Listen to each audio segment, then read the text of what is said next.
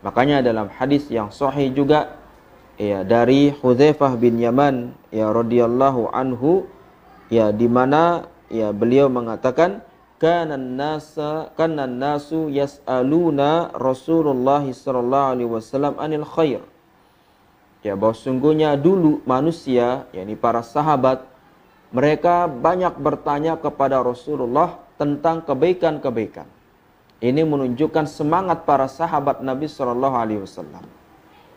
Namun Khuzaifah bin Yaman mengatakan wa kuntu as'aluhu ani as'aluhu anisyarri makhafatan ayyudrikani.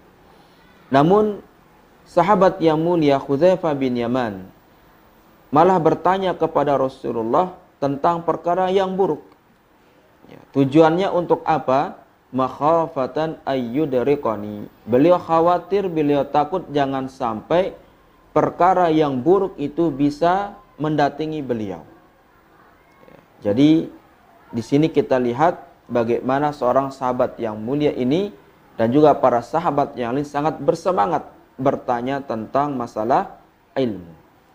Ya, bahkan ketika Abdullah bin Abbas ya radhiyallahu anhu ketika beliau ditanya tentang bagaimana beliau bisa mendapatkan ilmu yang sangat banyak ya dengan wak, dengan wak, dengan masa ataupun yang masih muda umur yang masih muda namun beliau memiliki ilmu yang sangat banyak. Namun di antaranya beliau menyebutkan bilisa nisaul wa biqalbin aqul.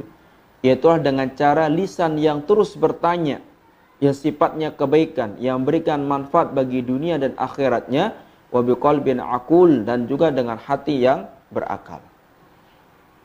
Ya, maka dari sinilah kita bisa mengambil pelajaran para kaum muslimin rahimani wa rahimakumullah pentingnya kita untuk selalu bertanya ya hal-hal yang kita tidak ketahui apatah lagi tentang persoalan agama kita.